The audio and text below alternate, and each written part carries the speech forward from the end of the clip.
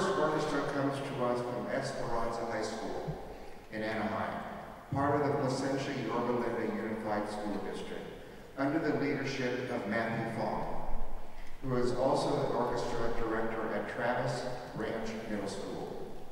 Returning for the third year, this orchestra is the top string ensemble in the school, and the group consistently receives superior and unanimous superior ratings at statewide and district festivals.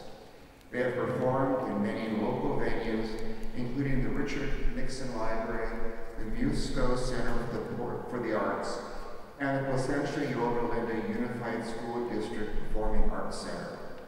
Today we will hear two elegiac melodies, Opus 34 by Grieg, and St. Paul's Suite, Opus 29 by Holst.